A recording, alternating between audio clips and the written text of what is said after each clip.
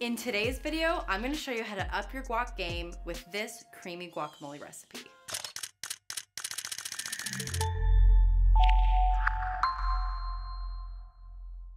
Hello and welcome to Home Trek. My name is Camy for those of you I haven't met yet, and in this channel, we make videos to help you upgrade your life, whether you're a homebody or a world trekker. We're continuing on today with our dip series. The full playlist of all of those recipes are in the card above. And if you find this video helpful, don't forget to like and subscribe to our channel. We come out with new content for you every week. As I mentioned in my last hummus video, I just recently got a new Cuisinart food processor for my birthday, so I'm gonna be using that to make today's recipe. I've put together everything that you're gonna need in the description below so you can follow along. So to start things off, you're gonna take your garlic clove and you're gonna wanna release it from its little garlic shell. So a quick, easy tip to get it out will be to take your knife and press down to crush it on your cutting board and that's gonna release it and make it really easy to peel out of its shell.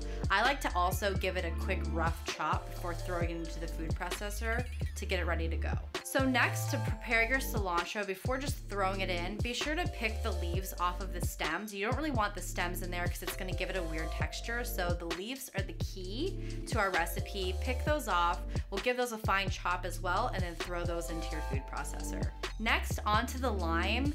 Sometimes it can be really hard to squeeze the juices out of like a fresh lime or lemon. So a quick tip is roll it on the cutting board first. That'll help get all of those juices released. Then when you chop it in half and squeeze it over your food processor, all the juices will come out super easy. Next, to finish things off, you can just throw in a little pinch of salt. Now what you're gonna wanna do is give your food processor a couple good pulses. We kind of want the texture for this layer of your guacamole to be a pretty fine dice. So now that you're finished with that layer, go ahead and leave it sitting. It's gonna get more flavor if it kind of marinates in on itself. And we're gonna move on to chopping the white onion. Now, if you want some more tips on how to cut an onion without crying, check out the card above. I have a video prep for you to help out. So a quick tip with the onion that you're using in the recipe, you really can use any kind of onion you want. I personally choose white onion because it's a little bit sweeter.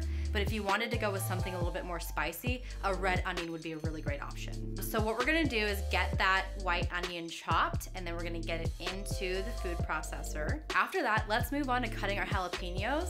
These are one of my favorite things to add into guacamole because I do like a little spice. If you don't, feel free to leave this part out. But what we're gonna do to break these down is take them on your cutting board, we're gonna cut off the end, and then we're gonna slice them in half and if you turn them face up, you can get the tip of your knife inside the jalapeno and just scrape out the seeds. Removing the seeds does help kind of tone down the spice level. So once you have the seeds removed, go ahead and give it a quick chop and then throw that into your food processor as well.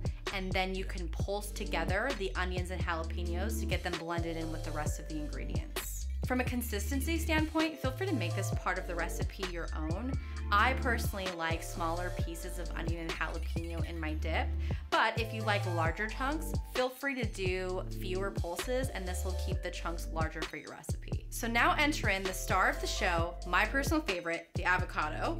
Feel free to stick around to the end of the video. I'm gonna teach you how to pick out the perfectly ripe avocado for your recipe, but in the meantime, these babies look great. And complete side note, Tony actually hates avocados and completely hates guacamole, so he's not gonna be enjoying this after this video. I need to rally an army behind me. If you're with me on how amazing avocados is, comment below avocado lover for life and just be with me on my team, please. So let's prep the avocado to get it ready for the food processor. What you're gonna do is cut the avocado in half, Hold your avocado vertical, put the tip of your knife in and run it along using the seed as a guide until you get it completely in half and then grabbing both sides of the avocado and giving it a quick twist will pull it apart. Now moving on to taking out that pesky avocado seed, what I like to do is just flick the blade of the knife into the pit and give it a twist it should pop right out for you. Make sure you watch your hands and your fingers while you're like throwing this blade around Avocados can be pretty slippery, so stay safe out there. Now to really elevate this recipe, go ahead and throw in your sour cream. If you don't have any sour cream around the house, I've also used cream cheese or even a little olive oil to kind of get that creamy texture in there. Now you're ready to start mixing everything together. Give your food processor a few pulses. Make sure you stop and scrape down anything that gets caught up on the sides. I usually do maybe three or four pulses. I kind of like my guacamole to be a little bit chunkier, but if you like a thinner texture on your guacamole, feel free to pulse it a few more times until you get the texture you want. So as always, give your guacamole a quick taste. If you want to add some more flavoring in, a little bit of garlic powder is amazing, and then also some extra salt will probably do. I usually will put some in at the end for myself. So now your guacamole should be ready to go to serve up and enjoy. On to that pro tip I talked about. What's hard about making guacamole the day of is going to the grocery store and finding perfectly ripe avocados to use.